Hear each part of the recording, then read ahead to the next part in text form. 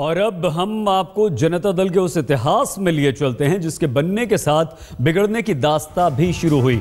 देखिए 1988 में लोकनायक जयप्रकाश नारायण की जयंती के मौके पर 11 अक्टूबर को विश्वनाथ प्रताप सिंह की अगुवाई में जनता दल बना।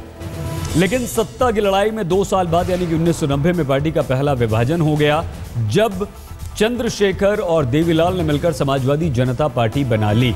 इसके बाद उन्नीस सौ बानवे में समाजवादी पार्टी से ही अलग होकर मुलायम सिंह यादव ने समाजवादी पार्टी बना ली।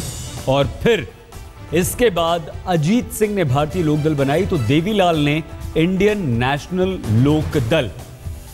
अब देवीलाल के बाद उन्नीस सौ चौरानवे में जॉर्ज फर्नांडिस और नीतीश कुमार ने लालू के विरोध में जनता दल से अलग होकर समता पार्टी बना ली।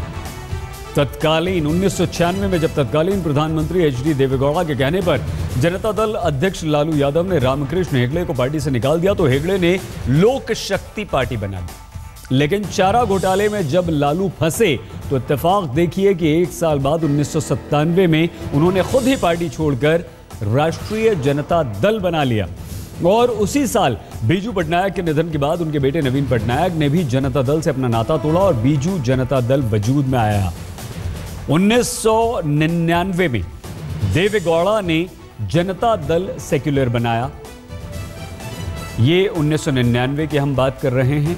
उसके बाद जम्मू कश्मीर में जिस पीडीपी के नंबर वन पार्टी बनने के इस बार आसार दिख रहे हैं, कल उसे जनता दल में रहे मुफ्ती मोहम्मद सईद ने 1999 में बना लिया, यानी कि पीडीपी का जन्म हुआ। साल 2000 में रामविलास पासवान ने लोक जनशक्ति पार्टी बना ली।